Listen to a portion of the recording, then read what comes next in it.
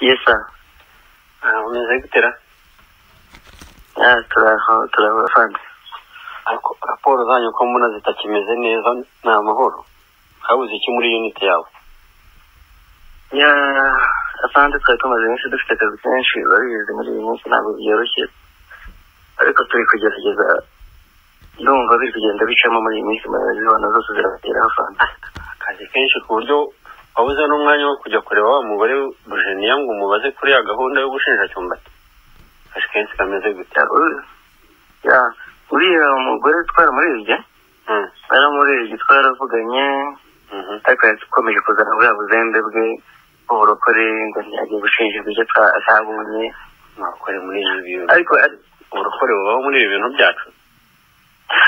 Amwiherero uriya turamwibikiye ntawe yadushyikira numva twazamukoresha no mu bundi buryo kuko uriya we turamufite ahantu hose ntabwo ntaho yajya.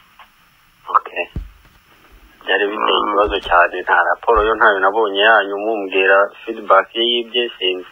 Gusa ntabwo ari byo bigezweho cyane ubu ngubu.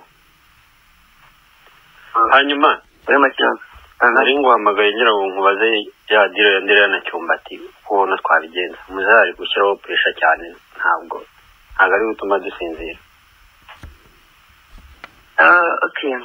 Urabona ndumva twareba undi muntu dukoresha kuri iriya diri ya ya ndere na tuwanete kugira ngo bibe byatworohera bari mu ugeraho byoroshye uriya mugore we uriya mugore we tumuhaye turu ndakeka ashobora no guhita agenda ntagaruka akaba yatwicira gahunda kamera nk'abantu bundi twari twatumye niyo mpamvu nta kosa na rimwe numva twagombye gukora muri uyu mupangu wa ndere na tuwanete ni ukujya mushishoza cyane muri iyi minsi hari amaoperation ari kugenda apfa cyane ugasanga ze ntabwo ari kubifata neza. Ubona uwakoresha gisimba Mm. bitagira icyo bitanga? Gisimba twamukoresha ariko ubwo yakora gute? Twamukoresha gute? Ngo hari Kugira ngo- devices cyangwa zifite twaba- mm, hari amadevices zifite ariho amafoto n'iki na- n'amavideo bari gukoresha aba- abana ibintu by'amaporonografi ushobora kuzimuha akareba ukuntu yabikwirakwiza sinzi icyo niba bari warigeze uzibonaho ariko uzaza kuri ofisi anzigore rero nk'iyo fande devices dufite ziriho ibintu by'amaporonografi bakore- bakoresha abana ni byo twa- twazihereza gisimba akareba ukuntu yabigeza mu makompiyuta yabo. Ndazizi ndazizi ndazizi ziriya byakunda twazimuha noneho ubwo tumaze kuzimuha tubimuhaye abonye ko Eh. abigezayo twareba uko dukoresha aba bana bacu bo muri rib bagakorana na fbi none ikaba yazajya kubasaka bari abantu ikabibasangana ku buryo byakorwa ku buryo bw'ibanga nk'uko dusanzwe dukora n'izo operation kuko hariya kiba ari icyaha gikomeye cyane iyo babigufatanya yes. Umupangu wawe umeze neza? Mm. ariko nta kuntu twabanza tukabisohora se nko muri media? Ya tugomba kubiritinga muri rushyashya igasohora inkuru ibisobanura neza ikanigsaho n'ariya mafoto Mhm. ugomba kumekinga Mhm. neza cyane. Na bariya bahungu bacu bo muri rushyashya mbere y'uko babisohora ukabanza ukabireba. Kuko ya minsi hari ibyo twagiye dushyiraho ugasanga nyuma bibaye ngombwa ko tubisiba kubera ibintu byo Mm. kudakurikirana cyane ngira ngo urabizi ko bakorana bamwe na bamwe bagiye baza no kwisobanura. Ah, Mm. Eh, byakunda ariko urabona ko bariya abantu bafite network ndende. Mm. urabona harimo na ba sesabagina na muganga. Nzi ko muganga na sesabagina bariya byamworohera gisimba kubageraho. Ntabwo bikomeye cyane biriya bimaze gusohoka hanze twabimediyatije muri rushyashya twakoresha application zacu tukabisharinga muri kompiyuta zabo ntabwo byaba ari ibintu bigoye cyane Mhm. dufite Mm. urabizi ko hanze naho dufite abana bati- baticaye nabo baba bakora n'abainformatisiye bacu nta kibazo kirimo Mhm. Mm, yes yes ndabibona mm. Eh, ubwo twakoresha application yacu iyo dusanzwe dukoresha Mm. Yes ku buryo uzagera kwa rusesabagina na muganga ntawe urabutswe nta ntumuzongera gukora ikosa ngira ngo urabizi mu kwezi gushize uko byagenze. Ya ndabyibuka ndabyibuka buriya. Bamu- uriya mwana nawe yatubereye umwana gito ariko ni ukuvuga ngo byaduhaye yuko mbere y'uko bisohoka muri rushyashya. Ko Mhm. hariho urabona ariya mafoto uriya muhungu wacu wo mu bibiri yadufatiye andere na karen bari kujya gusambana hariya. Mhm. ya kamenyeka shop. Eh. ni ukuvuga ngo ntazagire ikintu kizongera gusohoka bitanyuze muri ofisi yawe ngo ukore approvement yabyo. Yes ikibazo cyane. Hmm? ya ndabibona ndabibona. Eh, ubwo twazana reba ukuntu duhuza eh, aba abakerarugendo biriya bizadufasha cyane bariya bavoka bacu. Bazareba biriya bihuha bya antoinette yagiye atanga kuri bariya abanyamerika biriya bihuha bazahita bareba uko babica amazi kuko nta credibility nawe azaba asigaranye. Foke Yes. utegura neza ibintu byose bikajya ku murongo. Yes antoinette buriya credibility tugomba kubimutesha Mm, twerekana cyane cyane n'ukuntu urabona cya ukuntu bataye nyina mu ntambara bakigendera mm, bakamuta aho ngaho kandi yari afite ubushobozi bwo kumujyana. Urabona basize yasize basaza be na se bari kwica abantu babizi ko bari interahamwe zo mu rwego rwo hejuru. Mm, ndabona binahuje biriya byitwaye ukuntu tubikora linki Eh, ya- na wa munsi mukuru baherutse gukora wa munsi mukuru baherutse gukorera wa mukecuru wabo mbese nabonye tukabyita nka yaba arabonye amafoto tukabyita nk'aho bashakaga ibintu byo kumusaba imbabazi. Kugira ngo mbese kuba agiye kwipfira azapfe mbese yarababariye Hmm? ya nta Eh. utakigomba kuba muri iyi dosiye ugomba kumekinga ashobora ko buri kintu cyose kimeze neza Ah, afande se kandi na Ah, Gisimba buriya. ziza kugira ngo ufate guidance ibintu byose bigende ku murongo yes yes sir. Mm. buriya gisimba ntabwo ashobora kubyanga aramutse abyanze twakora iki twabigenza dute ntabwo yakora ririya kosa hari za- rikodi ze ntoki zifite za na za maraye ze zo zino ahangaha ni ibintu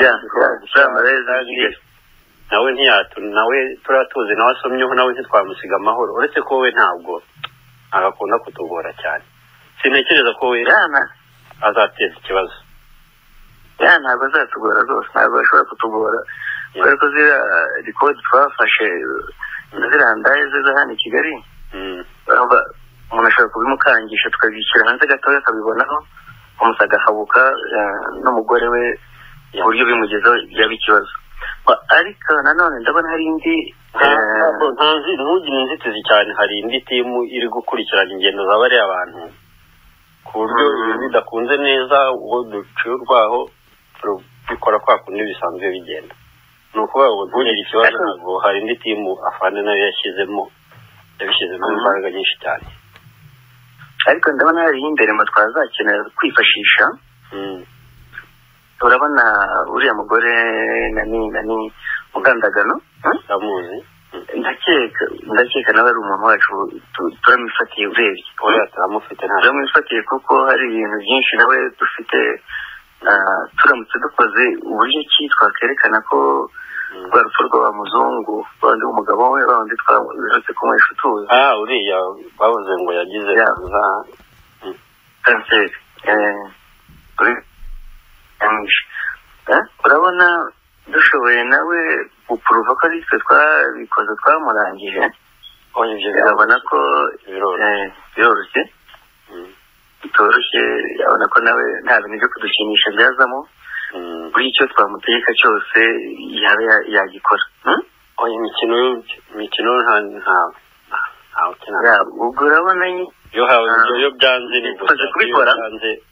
ni udukoresha ubundi buryo nta kibazo yisana tumaze kubikora antoinette amaze guta credibility nta kintu azongera kuvuga ngo gihabwe agaciro oya nta tuzi neza ko ari nawe wagendaga azemurira bari abazungu ziriya kesi zose ariko urabona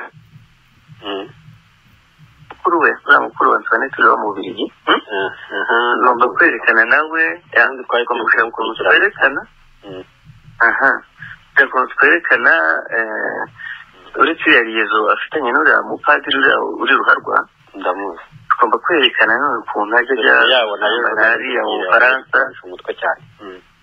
Yes yes urabona biriya ukuntu ajya gusambana mu bufaransa n'uriya mugabo wigeze kuba fiyanse we ninde harya Ah, uravuga venuste ya venusi uramubona venusi eh, na byo twa- bya na byo bishobora kubirikingamo bikagira icyo bitanga kabisa uzi ko Mm. unyibukije ya ntuza ya feri igisimba yatubwiye babeshye bari abazungu Mhm. ngo umutagisimeni ngo yaramuviyoye bari muri Mhm. kenya bakamukuramo amafaranga menshi cyane. Ari abantu nabo ni n'amabandi kabisa iyo feri tugomba kuyirangiza kuko urabona urabona nyine uriya mukuru we we yagiye kubeshya ngo mu ngo yamuviyoye ariko urebye yishakiraga amafaranga. Bagira ngo barebe uko bakurikirira mupadiri byose ntuza aba- abayifoma bacu baje kubishyira nyuma. Twabimenye nyine. Yes. natwe Mm, yes mm, Eh, ubwo gutyo rero urabona n'iriya dosiye yo muri rrm iriya ya mm, eh, tuzaba tumaze kubashyira hasi kabisa kubera ko presiyo y'abanyamerika izaba ibariho mm. ubwo ni ho tuzashyira hanze ibyaya dosiye ya mugimba rero uribuka neza ko rusesabagina haracyarimo ikibazo kumugeraho ntabwo byoroshye cyane ariko hari uburyo bwinshi dushobora gukoresha rugira na bene wabo bakaba bamugezaho utuzi ariko rusesabagina we aracyatugoye cyane. Twamushyizeho amatimu Mm. ageze muri atatu. Acyagera Mm. ariko bizakunda. Mm, urabona n'ibyiriya dosiye ya mugimba Eh, eh, antoinette urabizi ko yamuvanye i dakari amujyana i burayi. Urabizi ubwo nawe tugahita tumushyiraho twakongera tukamushyiraho kesi ya tarafikingi y'abantu Hmm? yewe ni traffic ariko n'ubundi twayimushyizeho. Sinzi niba utarabibonye. Yes yumaze uzazi kuri ofisi uribuka afande uribuka buriya rugogwe buriya yatubera umwana mubi. Uretse ko nawe nawe ariko yakuyemo inyungu nawe. Icyo yabonye. Bamukoreye yabimeritaga buriya gukora ikosa. Mm. niyo mpamvu kuri iyi kesi tugomba kwitonda ntagire ikosa bwe dukora. Ejo bundi barantutse kazi karatunaniye dufite minizi zose baraduha amafaranga yose.